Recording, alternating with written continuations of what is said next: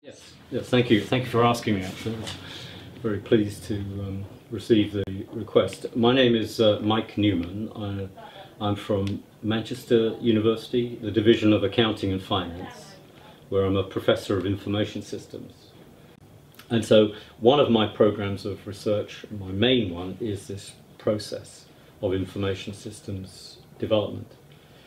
Uh, this emphasizes the idea of longitudinal research. So, uh, studying a systems development project rather than dozens of them, just studying one of them or two of them uh, over a period of time, which could be several years. I mean, one of my uh, original case studies in Canada, where I started my PhD, um, it spanned over 12 years, where they had many attempts at, at uh, trying to develop this specific information system and failed. And they kept failing. If you've got organizations with prior history of failure and they don't do anything different for the current project, then they're likely to reproduce that failure. And you know, amazingly, nobody else was really looking at this and, and studying in this in this fashion. So we have these four um, influences. You've got the history, the process, the context, and the outcome. So you get, when you're doing the kind of research I do, you're interviewing people. And the interviews produce transcripts. So you're getting them to tell the story of their involvement in the project.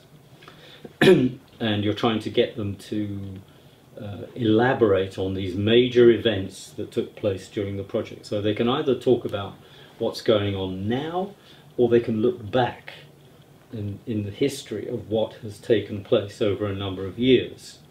And so you, you get some element of, of current disclosure and some element of historical disclosure. And so you have to then interview many other people in order to try and triangulate on these major events. So now we're taking that and, and incorporating uh, interviewing rather than face to face, but now mediated with technology. So our latest venture is to look at how social media affects um, the interview process. So we're, we're, we're working on that right now. So for example, uh, normally with face to face, like when I'm looking at you, I, I can see your facial expressions, you're nodding, you're, you're uh, trying to encourage me to continue talking and so on. This is quite normal. And this is what I would do if I was interviewing somebody.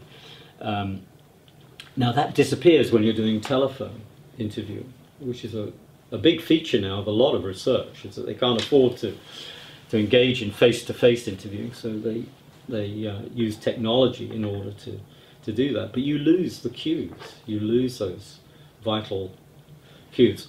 Now in, in uh, using Skype, for example, then you gain some of that back again. You've got more of a, there's, there's technology in the way, and by the way, Skype is not always 100% reliable. It, it can, uh, video can go down, which has happened to me, and uh, also audio interruptions can, can occur as well. So those can be rather distracting things, but it, it it's better.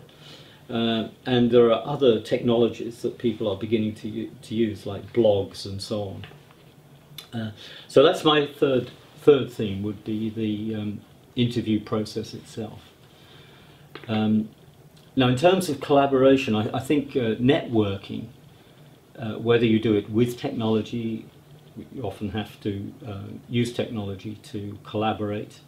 Um, but the initial um, collaboration would probably be done face to face with academics. What I would hope for in working with the people from Turku is this interaction, being able to interact. Set it up first of all face to face.